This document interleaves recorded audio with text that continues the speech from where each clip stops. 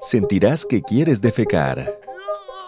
Durante el parto quizá pienses que te urge ir al baño, pero la realidad es que la cabeza del bebé ya puede verse y está a punto de nacer.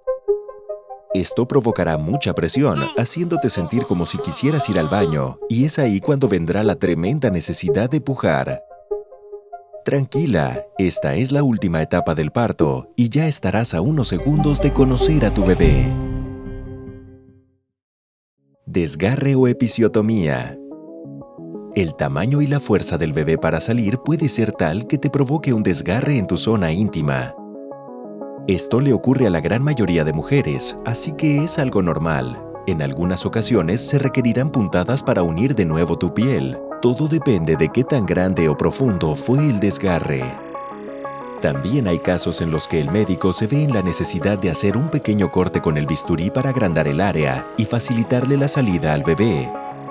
A este procedimiento se le conoce como episiotomía. Y sí, después de su salida requerirás puntadas. Si este es tu caso, ten en cuenta que durante la cuarentena tendrás que tener mucha higiene y ser muy cuidadosa para evitar infecciones. Prepárate para parir dos veces. Sí, oíste bien. Unos minutos después de que nazca tu bebé de forma natural, comenzarás a tener contracciones de nuevo y sentirás la necesidad de pujar. Esto sucede porque tu cuerpo necesita expulsar la placenta.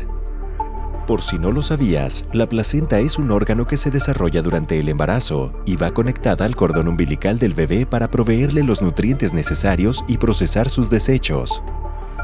Tu cuerpo sabiamente expulsará este órgano que ya no necesita, lo cual podría ser igual o más doloroso que haber tenido a tu bebé. Que no te tome por sorpresa. Los entuertos. En tu cuerpo pasaron muchas cosas durante el embarazo, y una de ellas es que todos tus órganos internos se mueven de lugar para dar espacio al bebé. Además, tu matriz crece muchísimo, para que te des una idea, sin bebé, tu matriz es del tamaño similar al de un kiwi y para el final del embarazo crece hasta alcanzar el tamaño de una sandía. Una vez que el bebé haya nacido, todo comenzará a regresar a su lugar y a su tamaño anterior, y puede ser doloroso. Estos dolores se conocen como entuertos y se sienten similar a las contracciones o los cólicos menstruales. Asimismo, los entuertos harán que tu útero deseche todo lo innecesario y se proteja de infecciones y hemorragias, así que no te asustes y deja que tu cuerpo haga su trabajo.